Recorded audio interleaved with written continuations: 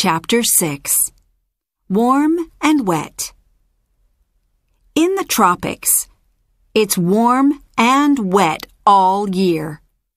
Many rainforests grow in the tropics. In a rainforest, trees get lots of light and rain, and they grow very tall. Discover. In some rainforests, there's three centimeters of rain every day. Many animals live in warm, wet rainforests. Monkeys live in trees and they eat nuts and fruit. Birds fly from tree to tree. Birds eat mini beasts. They eat nuts and fruit too.